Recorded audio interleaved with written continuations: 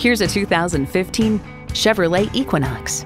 Stylish, energized, and ready for takeoff. This is a multitasker that doesn't compromise.